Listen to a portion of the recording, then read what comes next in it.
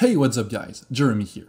In this video, I'm going to show you more tricks on how to use the Teach Target on Surface feature, and I will also show you how to keep your station well organized. Let's jump right into it. Let's start with organization. As you will create more and more complex stations and pro programs, you will soon realize that your station tree will get a bit crowded with a lot of information in it and programs that you've finished working on but they are still there and it kind of takes a lot of space and you're always kind of scrolling up and down because right now we're not using a full screen so there's no kind of scrolling uh, uh, scroll bar here appearing on the side but as soon as we'll kind of reach the end of the screen we'll have a scroll bar. So if you don't want to have to like scroll up scroll down all the time there's a few ways to keep stuff organized and the first one would be to add uh, folders so folders are easy to add. You just right click on the station folder at the top of your station tree and you click add folder. You can rename it, so select it F2. Let's call this one simply inspect A. You can then drag and drop a program in it or multiple programs at the same time. Select the first one, shift, select the last one, and then move all of those programs. So this way you can collapse the folder and uh, you won't have to see all of those programs when they are done. And if you want to refer to those, you just have to uncollapse it.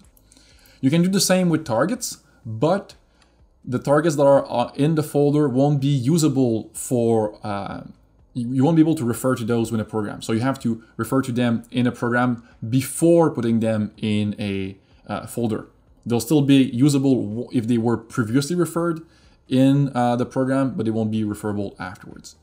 So let's add a folder like that. As we already used them in the program, we don't need to have them available like that. So let's call that targets A, F2 to rename. Uh, but if I want to select all of that and drag and drop it here, you will see there's kind of a no-go sign appearing. You can kind of overcome that limitation by, instead of selecting the left click, hold, drag and drop, you can use the right click, hold, drag and drop, and then a contextual menu will appear. You can either position all the targets you selected before the item you uh, released the right click on, move nested, or move after. So in this case, I'll go for move nested, but you can understand that this is super handy if you want to reorder stuff exactly the way you want. So let's say you want to put go home right at the beginning. It's kind of hard to find the right spot here.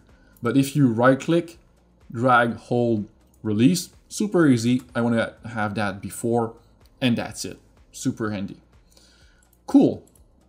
Let's hide all the targets. I'm just going to move the robot up like that. And I want to show you, you see here, you have the yellow line. Let's say I want that yellow line to disappear. So I'm going to say, okay, I'm going to remove the uh, get home display path. Nothing happened. Right click, inspect A, display path, nothing happened. What's going on?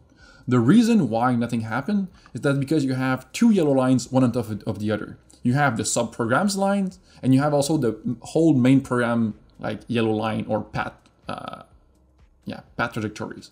So if you were now to hide the inspect main here, display path, the sections that you already hidden uh, are not visible anymore, and you can remove the little ones you have left and just like that, you have a clear plate uh, to work on. The next thing I want to show you is a little feature, very interesting feature, part of the Teach Target on Surface. Uh, as you can see here, we have add tool, add reference, add target. For now, we will stick to add target, but you can understand that you can add TCP and add frame. We'll use that in future videos, uh, rest assured. You can also do uh, targets that are normal to the surface. So if they are normal to the surface, obviously, if the surface is curved, wherever you'll click on the surface, uh, the z-axis will always be pointing inward or normal to the surface. You have constant. So if you do that, if the surface was curved, let's say, the orientation would stay constant uh, and only the distance with the surface would uh, matter. And then underneath here, you have snap on arc center, snap on cylinder, snap on curve midpoint and edge, and here automatically extract curve surface. For this here, the only thing I can really use is snap on arc center, but you'll see what it does. So if I bring my mouse on top of one of these hole, you'll see that the kind of a blue line appearing uh, around it. And if I click, it will create a new target. If I click on this one, a new target. On this one, a new target.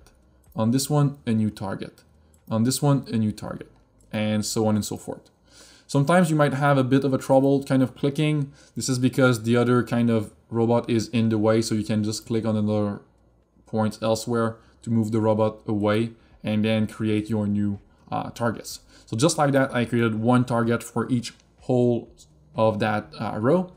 So that's super handy. I could create a program like that and take a picture uh, upon every hole. That would be awesome and super useful. So in this case, I don't really need that, but I'm pretty sure I'm going to show you uh, examples later where that can be super uh, helpful. Okay, that's pretty much everything for this video. In the next one, we will uh, cover a more complex part. So this one here, which is curved uh, for the inspection process. So I'm going to show you how to manage the orientation of your tool when doing teach target on surface. For now, we went for a straight orientation, let's say. Um, so there was nothing here very special. We just click up, click down, blah, blah, blah. But here for this one, we have first to have the right orientation regarding that curved part. And also we will create our first move C's. So circular motion will be part of uh, the video after the next video. Okay, I hope this one was helpful and I hope to see you guys in the next video.